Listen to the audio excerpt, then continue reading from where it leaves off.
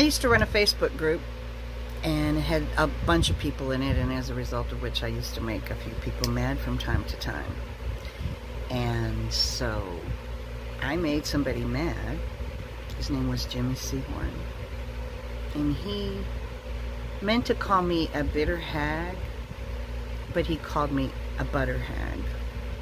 So Jimmy Seahorn crowned me the butter hag because I liked the way that it sounded.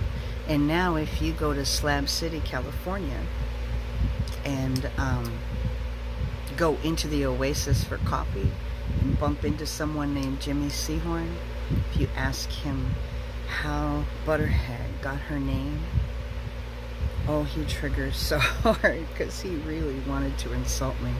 But instead, he um, crowned me Butterhag. So there you go. People ask me a lot what the history of Butterhag is, and there it is.